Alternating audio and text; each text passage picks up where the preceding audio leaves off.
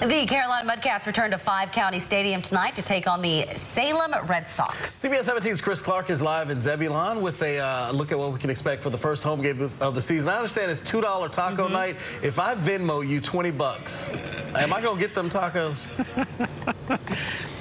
What you're going to have is uh, you're going to be out $20, and uh, I'm going to be full of tacos. I'm just going to tell you right now. I'm about to go over there and see exactly what that's all about. I can smell them coming in here right now, and they smell awesome. So we're going to have a complete report on that coming up at 6. But, yeah, man, I mean, it's baseball's back. And I mean baseball, you know, the great way. Not, not that rainy stuff we had last week where, it, you know, was just, you know, coming down in buckets and sheets and sideways. And they got the games in, don't get me wrong, but it was a sloppy, just a disgusting mess. No, we got perfect weather. It's sunshiny. We got these nice blue Carolina skies. We got these crisp Mudcats uniforms. They're taking on the Salem. Re I'm not going to say that name just because of my allegiances at the uh, major league level, but they're taking on that other team from up there in Salem, and it's one. It's the day that I've been waiting for ever since uh, the year started. We caught up with a couple of the players a little bit earlier to ask them about what it's like playing down here in Zebulon, playing down here in Five County Stadium, and just how much this home crowd means to them really excited just to play in front of a, a good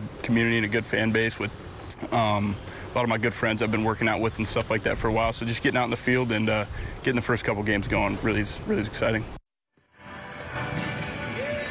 And uh, before we came out here, I grabbed my bat, was going to take some batting practice, took a few practice swings, and realized I am not 23 years old anymore. So I am going to continue to talk about this sport and love every step of it. But coming up in sports at 6, we're going to talk about uh, a lot of non baseball stuff. Kyle Filipowski coming back to Duke. UNC picked up another player. We got a player leaving the NC State football team. So just because it's baseball season doesn't mean the rest of the sports world does not continue to roll right on. But uh, really enjoying myself out here in Zebulon at Five County Stadium hoping this day does not end. I'm Chris Clark, CBS 17 Sports. I'm really curious what kind of tacos they have out there. I don't, I don't know a thing Chris said after he said I was going to lose $20 and he was going to eat all the tacos. So we're done for now. All right, brother. Thank you. Appreciate it.